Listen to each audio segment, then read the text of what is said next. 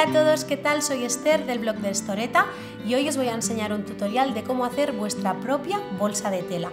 La vamos a hacer con la máquina de coser Cotton 24.0 de Solac, una máquina muy bien equipada y con la que podrás crear y confeccionar todas tus ideas.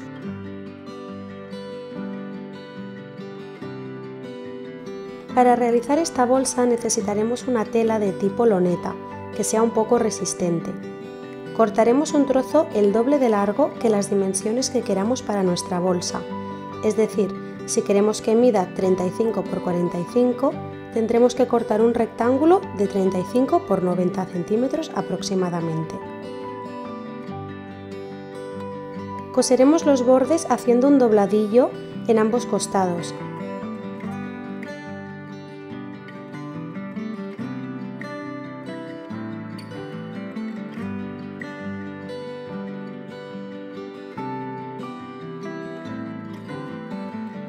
y seguidamente doblaremos del revés la tela, es decir, estampado con estampado.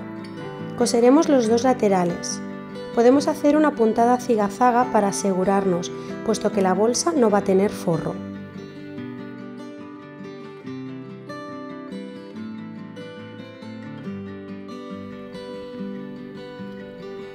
Para coser las asas cortaremos de la misma tela dos rectángulos de 80 por 6 centímetros aproximadamente.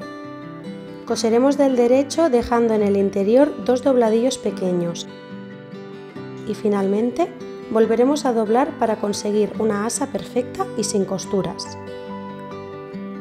Podemos coser los laterales para que nos queden todavía más fijos y planchar para conseguir un acabado perfecto. Lo único que nos falta es unir las asas a la bolsa por la parte interior. Coseremos haciendo una forma de cuadrado para fijarlas bien.